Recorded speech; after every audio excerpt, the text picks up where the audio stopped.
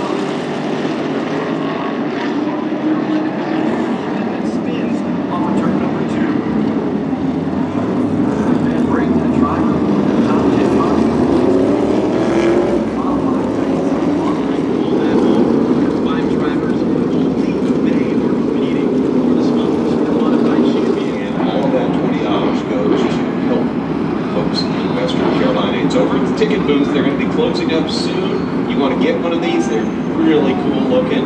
And don't guess, just get